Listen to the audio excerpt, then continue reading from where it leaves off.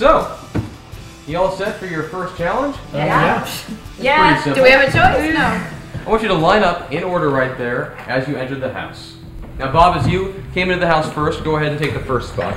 But he didn't like come in with us. Bob was already here. You have a point. Bob, you're last in line. Everyone else, Oh. line up as you came in. Sorry. Likely you've I noticed the orange cones that have been spread out. Yeah. You are to go about the house and choose your room. The way you'll do this is very simple. You will go to any orange cone and select the room attached to it. Now the thing is, if any doors are shut, you cannot open them unless you are selecting that room. So it's a bit of a gamble. These are all bedrooms though. They're not like, you know, the trash room or something. They are all rooms with a roof over your head. Abby, what I need you to do next is go and select your room. Okay. I'll go. Evie seems nice. We was we were sharing a laugh when the the Chris guy came in and he was talking about being all smarmy. Remember, if you open the door, the room is yours. Well, it's a one-shot thing, so I'll go with left to right. I'm kind of drawn to Evie, but at the same time, I think she could really get me, and so I have to be careful around her. Okay, we're step to the next. Oh, that's me. Now, three o'clock, things are a little bit different for you. Since someone's already chosen a room, what you can do is choose any of the rooms that have yet to be taken, or you can choose to take Abby's room. It was this weird kind of mind game about you could take someone else's bedroom that had just picked one. I kind of figured they were going to be pulling some, pulling some sneakiness. They have to make trouble. If you evict Abby from her room, she then will choose another room. Good news, you'll only be bumped once. Like a white elephant. There you go. Three Pac's pretty interesting. Uh, he doesn't talk too much. Three Pac? I don't know what his deal is, man. He's kind of been that like the James Dean. I think that's his kind of his role. Uh, but that's that's kind of a little bit too Martha Stewart looking. I don't know if I could really compete with these guys if I was Wendell. So, um, so from now it's just three Pac. You know what I'm saying? Just from the from the south, from the south side. And we have another selection. That's cool. Next on the list, There's a couple of kind of weirdos, I have to say. two of the rooms have already been selected. Sam, she's tough. She's got, she's got that toughness where she might stick things out. She has an accent, um, I think from like Wales or France, what, like somewhere. I'm not sure exactly. I'm already. Hey, I'm gonna have this one. I'm pretty confident about being able to hold my own. I was stationed in uh, Indio, California for a while. Oh, okay. oh, were you in the military? No, why? What were you? You said you were stationed. Oh, worked at a gas station there. Yeah. Oh, They're waiting for you. So you a writer, Joe? um, no, no. I No, he's an opportunist, is what he is. I mean, no offense, Joe. I'm gonna have some problems with Joe because he just doesn't care about anything. He doesn't care about like the integrity of things. To get like employees for a gas station, like kind of make like a, a military motif, and you get stationed. No. You know. She called me like uh, an opportunist, and and I, I, I, I don't quite get why she did that. And then, and then all of a sudden, it's a part of our language. Military is part of our language. I mean, Well, it, it already is. So like the idea is to like to use that to your advantage. Like you know a gas pumper of one, or you know, serve yourself, self-serving. You know, I, I I didn't quite think it all out. If I open a door, like that's the room I have, right? Absolutely. But if I bump you, then then someone will bump me out of here, and I won't be able to come into there. Like if someone bumps me. But then if I don't get a room that's worth bumping, I'll be stuck with this room. Joe is kind of annoying, but maybe he's just like nervous or something. Ah, screw it, I'll try this one. Woohoo! And the next selection has been made. the middle, the middle brings in good chi, and the two outside mirrors reflect the cha. And another selection. I guess Oh, it's your turn. You're.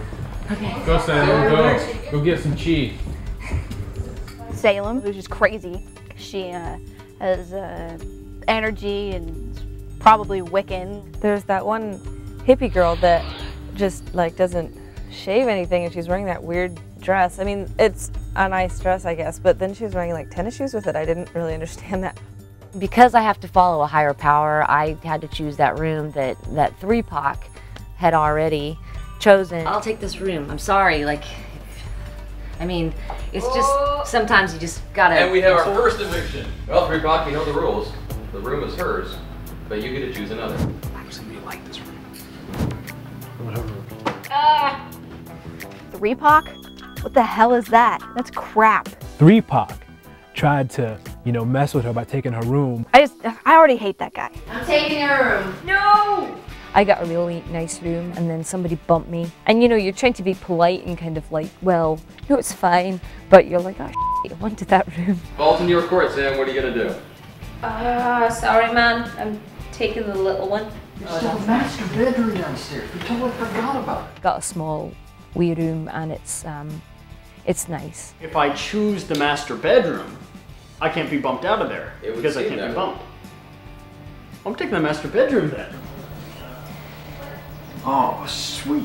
Man, whoever Type gets this slam. rose would be awesome. Well, I, I, I'm stuck in here because I've been bumped, so I can't be bumped again, right? Right. So I just bumped myself into the master bedroom, securing it for myself. Nice. Good job. You know? Next up. Yeah, yeah. That's me, I guess. Erica, she's pretty nice. She she likes stuff.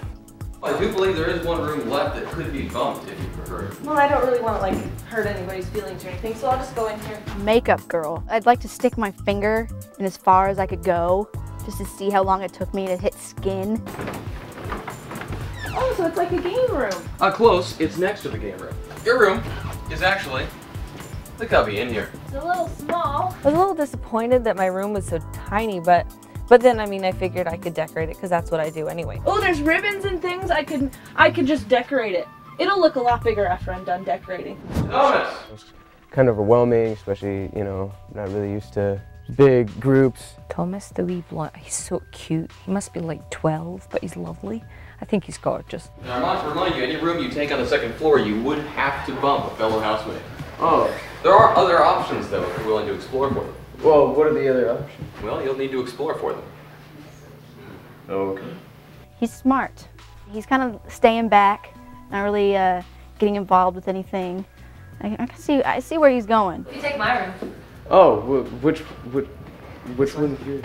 I mean, I bumped somebody, so I feel kind of bad about it. Okay, Salem, it's your turn then. There's a there's a cone on the shelf. I know, in the bookcase. Yeah, you're supposed to, that's, you guys should sleep on the shelf.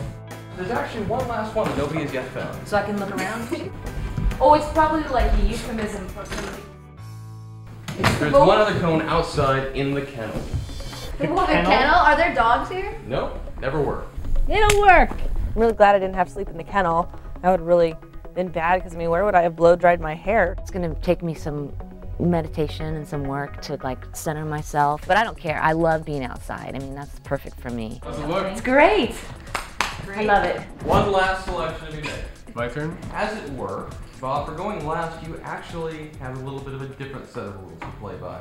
Picking a room, odd. Odd way to uh, introduce rooms. You can bump anyone else one additional time. No. And that person Ah, no, that's will automatically get the couch. Oh, it's this kind of show. And they gave that guy the choice of any room he wanted, it was pretty, you know, pretty predictable. I, I thought. I haven't seen any of the rooms upstairs, but I really like that room over there. Oh, man. I ended up in the living room, which I'll be able to get through it when when other people aren't getting through it, because because I'll be getting through it and they won't. Did you, pick Yeah, that? man. Hey, you know that couch is comfortable. I slept on that. I got the master bedroom, but I wonder if that was rigged or not sure what's going on really. Good. I'll be back later on with some more stuff for you and uh, some more fun. Nice to meet y'all. Have fun playing House Rulez. You can't eat animal at all. Right. All right, check it out. What about mushrooms? You, you know, you, how dare you spill on my carpet? I told you not to do that, you stupid, you know, piece of. When I was talking about the Hitler thing, I don't condone what Hitler did, but man, he sure made a name for himself.